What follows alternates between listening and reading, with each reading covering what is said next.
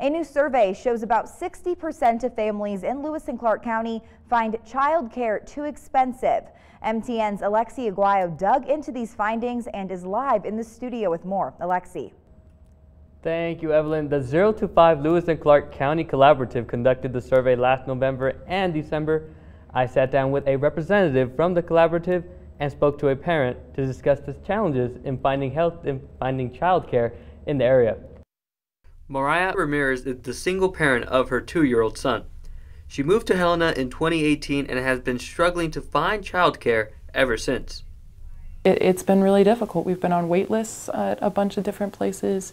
Um, the places that we did find that we might get into were, were had a lot of kids and it would be a little bit too challenging for him. Mariah is not alone in her frustrations in finding quality, affordable childcare.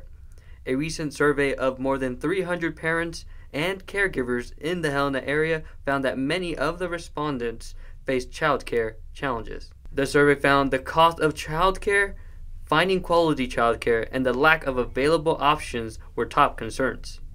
Well, it's not a surprise that the number is that high. It's a, it's a nationwide problem. Jeff Busher is with the group that conducted the survey, the 0 to 5 Collaborative. The collaborative focus is on early childhood wellness. The average amount spent on childcare per year in Montana is about $9,000. That is close to 25% of the median household income in Lewis and Clark County. The cost of childcare is, is incredible. Jeff Busher is already working on the idea of connecting businesses with childcare facilities to reduce childcare costs for employees. Our, our goal is a essentially uh, a healthy future for the children of Montana. For parents like Ramirez, that goal is enough. I just want him to be, I, I want him to have a good community wrapped around him. Mariah's advice for families facing similar situations is to not give up together. Reporting live in the studio, I'm Alexi Aguayo, MTN News.